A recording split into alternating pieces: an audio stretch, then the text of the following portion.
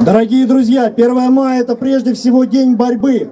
Борьбы за лучшее будущее для всего человечества. Слово на нашем митинге имеет Эдуард Лимонов. Другая Россия.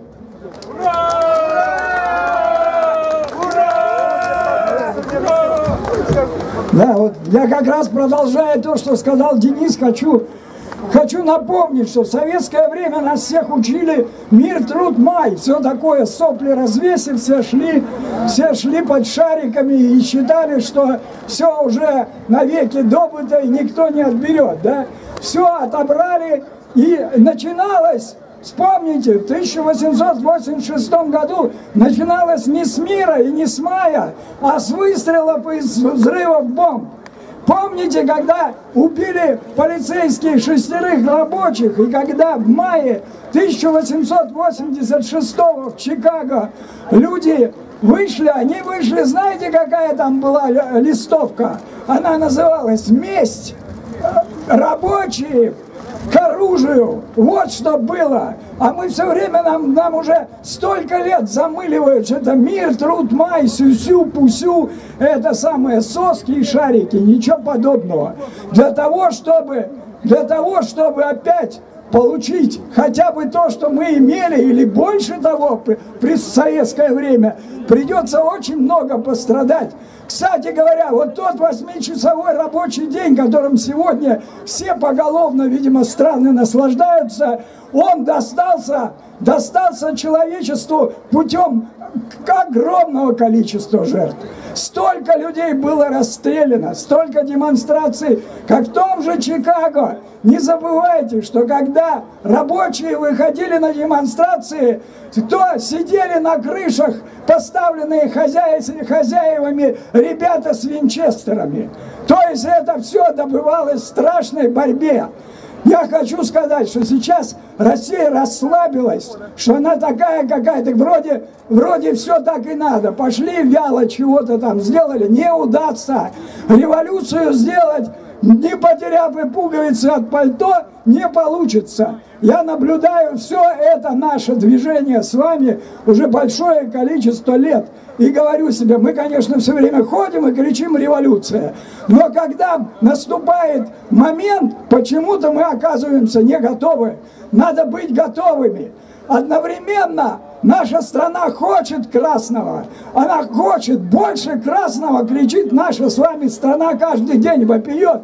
Вот сейчас я смотрю на такое количество красных флагов, и это энергия огромная поднимается. Нам нужно, нужно в стране равенство.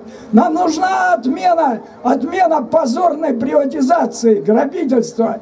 Когда у нас выходят не всякие самозванцы выводят людей против коррупции, то почему ни одна падла, извините, не вякнет даже, что коррупция началась в день, когда были приватизированы предательским, криминальным путем огромные предприятия, всю страну разделили. Чего теперь смотреть за доктором, который положил себе там в карман, я не знаю сколько, 300 долларов, когда были украдены все от Норникеля до до огромнейших пароходств, атомная промышленность, все к чертовой матери было украдено.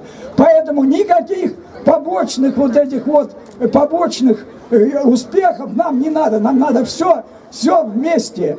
Когда я, я не могу говорить то, что я хочу, потому что, вы знаете, мы, мы живем в стране, тут же тебя пришьют статью, и ты пойдешь всего на все за слова, а не за дела в тюрягу. Я уже сидел, поэтому я не говорю голословно. Сидеть так хотя бы железно знаешь, за что ты сидишь.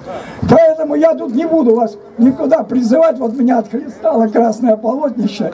И я просто хочу сказать, больше красного, упирайтесь все руками, ногами, агитируйте всех, кого можете, идите на какие-то индивидуальные поступки. Сейчас уже, видимо, видимо, так мы и будем весь. Все кричали, объединяйтесь. Помните, сколько лет нам кричали, объединяйтесь, объединяйтесь.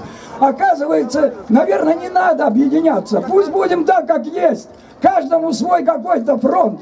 Каждому своя, там, я не знаю, что, фабрика, магазин, э, улица, для, для того, чтобы ее защищать. Но проявляйте проявляйте свою, свое творческое агрессивное умение. Вот что я опять хочу сказать. И опять лозунг. Больше красного, больше красного, больше красного, больше красного, больше красного, больше красного. Это, кстати, всегда говорил мне ныне покойный, вы знаете, певец сейчас прославленный человек, вообще гениальный человек, Егор Летов. Это его была заповедь. Больше красного! Больше красного! Больше